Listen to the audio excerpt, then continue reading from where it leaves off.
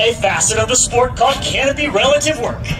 With the advanced aerodynamic design of these ram air parachutes, these jumpers are able to fly their bodies right up to one another without adversely affecting its flight characteristics.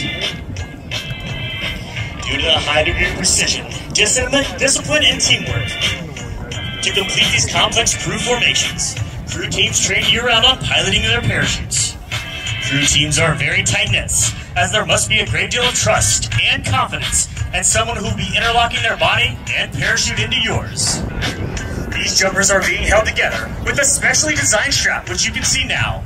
Once they reach a certain point over the ground, they will orient their parachutes downwards. These jumpers are now exceeding 60 miles per hour. It will prepare to break. You may hear the pilot give the command of ready break. And now these jumpers will fly their bodies and parachutes for a safe and soft stand-up landing.